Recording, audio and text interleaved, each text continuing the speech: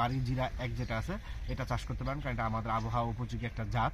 ফুল আসতেছে, এই সময় অল্টারনেট ব্লাইট হয়ে আপনার মাঠ মেসাকার হয়ে যাবে। একটা কমন রোগ হচ্ছে ঢলে পড়া রোগ। এটা এক কেজি জিরার ক্ষেত্রে তিন গ্রাম প্রোবেক্স আসসালামু আলাইকুম, আমি কৃষিবিদ মোহাম্মদ আব্দুর রফ রোফেন এগ্রোতে আপনাদের সকলকে স্বাগতম। জিরা, যেটা খুবই দরকারি, মশলা জাতীয় একটা ক্রপ আর বাঙালিদের জিরা না হলে আসলে রান্নার মনে হয় যে অপূর্ণতা থেকে যাচ্ছে। সেই জন্যই জিরা আর কি খুবই দরকারি। আর জিরা সাধারণত বাংলাদেশে চাষ হয় না, তবে চেষ্টা করা হচ্ছে বাংলাদেশে চাষ করার জন্য। জিরা সাধারণত ভারত, পাকিস্তান, মিশর, চীন এগুলোতে বেশি পরিমাণে চাষ হয়, ইরানেও চাষ হয়, ইরান, ইরাক এগুলোতেও জিরা প্রচুর পরিমাণে চাষ হয়। আর বাংলাদেশে সাধারণত যে জিরা পাওয়া যায়, এগুলো ইরাক, ইরান এবং ভারত থেকে আর আনা হয়।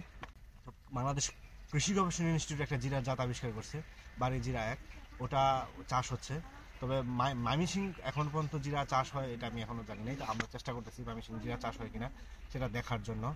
তবে জিরা উত্তরবঙ্গে যেটা বরেন্দ্র এলাকায় জিরা প্রচুর পরিমাণে চাষ হচ্ছে, বিশেষ করে বর্ডার এলাকায় জিরা প্রচুর পরিমাণে চাষ হয়, সেটা বাড়ি জিরা এক, এবং কিছু ইন্ডিয়ান যে জাত আছে, সেটাও বাংলাদেশে প্রচুর পরিমাণে চাষ হচ্ছে। আর জিরা চাষের জন্য সাধারণত দোআঁশ মাটি খুবই উপযোগী।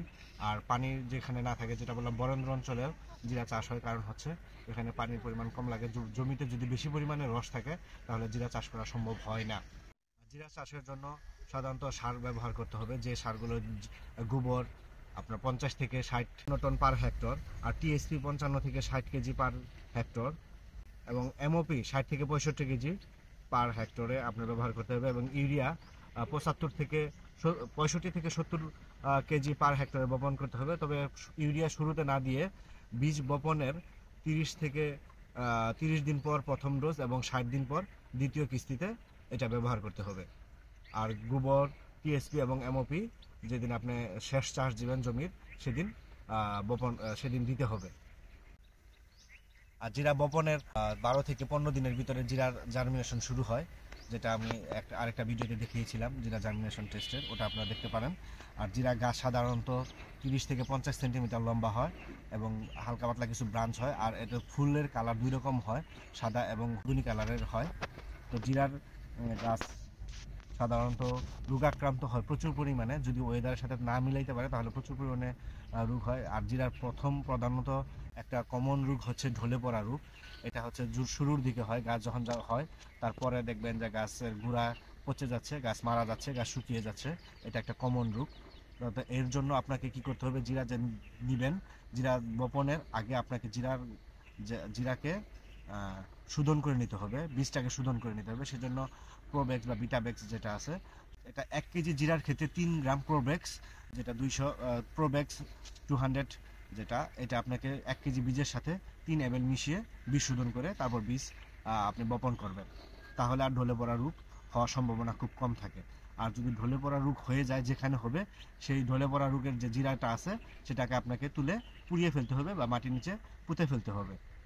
আর ঢলে পড়া রোগ যেন না হয় জিরা যখন জার্মিনেশন হয়, এরপর থেকে আপনাকে নুইন বা অটোস্টিন যেটা আছে, দুই এম এক লিটার পানিতে মিশিয়ে সাত থেকে দশ দিন পর পর দুই থেকে তিনবার স্প্রে করবেন, তাহলে আর আপনার ঢলে পড়া রোগটা হবে না।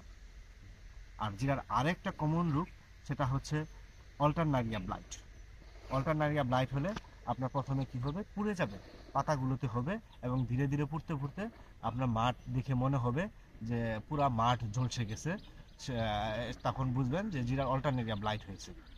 সেক্ষেত্রে অল্টারনেরিয়া ব্লাইট যেন না হয়, সেক্ষেত্রে জিরা একই জমিতে বারবার জিরা চাষ করা যাবে না এটা। আর আপনাকে প্রতিদিন মাঠ ভিজিট করতে হবে, তাহলে আপনাকে দেখবেন অল্টারনেরিয়া ব্লাইট হলে আজকে যদি হয়, তাহলে কাল পরশু দুই তিন দিনের ভিতরে দেখবেন মেসাকার হয়ে গেছে, একদম জিরা হবে না, একদম জিরো, আপনার ফলাফল জিরো হবে, আপনার পরিশ্রম বৃথা যাবে। সেক্ষেত্রে আপনাকে প্রতিদিন মাঠ ভিজিট করতে হবে অল্টারনেরিয়া লাইট হয়েছে কিনা সেটা দেখতে হবে। দেখা মাত্র ওই গাছটা বা ওর আশেপাশে যে দুই একটা গাছ আছে, এটা সহ তুলে পুঁতে ফেলতে হবে বা পুড়িয়ে ফেলতে হবে।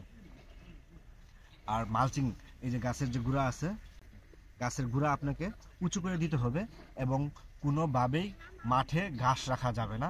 সেক্ষেত্রে আপনাকে নিয়মিত ঘাস পরিষ্কার রাখতে হবে। আরেকটা বিষয় লক্ষ্য রাখবেন অল্টারনারিয়া ব্লাইটটা সাধারণত হয় যখন ফুল আসার সময়। যে এই সময়টায় অল্টারনারিয়া ব্লাইট হওয়ার সম্ভাবনা বেশি। যে ফুল আসতেছে, এই সময় অল্টারনেটিভ ব্লাইট হয়ে আপনার মাঠ মেসাকার হয়ে যাবে।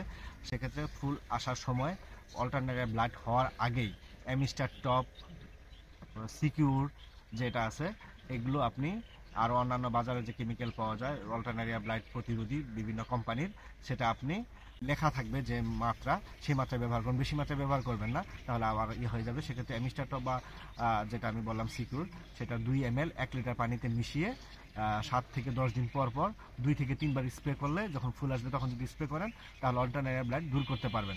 এইভাবে যদি আপনি আপনার জিরার পরিচর্যা করেন, তাহলে আপনি কাঙ্ক্ষিত মাত্রার জিরা পাবেন।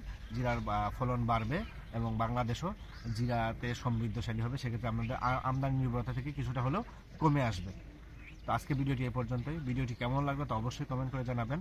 আর অবশ্যই আমি বললাম, বৃহৎ আকারে শুরুতে জিরা চাষ করবেন না। দেখে শুনে বুঝে জিরা চাষ করবেন, কারণ এটা খুবই এক্সপেন্সিভ একটা ক্রপ এবং খুবই আমাদের দেশে ওইভাবে চাষ হয় না। তবে যেখানে ভালো চাষ হয়, যেটা যদি আপনি বাড়ির জিরা এক যেটা আছে, এটা চাষ করতে পারেন, কারণ এটা আমাদের আবহাওয়া উপযোগী একটা জাত। তারা কৃষি গবেষণা ইনস্টিটিউট বেশ কয়েকবার ট্রায়াল দিয়ে তারা এই জাতটা উদ্ভাবন করেছে। সেক্ষেত্রে আপনি কৃষি গবেষণায় যোগাযোগ করে এবং তাদের যে লিফলেট আছে, কীভাবে চাষাবাদ কৌশলটা আছে, জিরা চাষের কৌশলটা জেনে সেভাবে চাষ করবেন। এই আশাবাদ ব্যক্ত করে ভিডিওটি শেষ করছি। সবাই ভালো থাকবেন, সুস্থ থাকবেন। আল্লাহ হাফেজ।